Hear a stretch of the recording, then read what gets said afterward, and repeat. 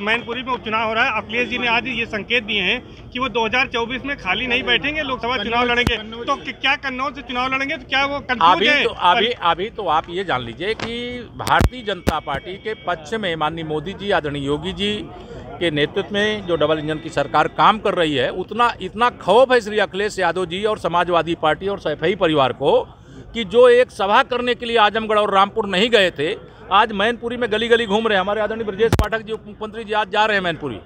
आप समझिए कि वहाँ कमल खिलना तय है। रामपुर में भी मोहम्मद आज़म खां का कैंडिडेट हारना तय है।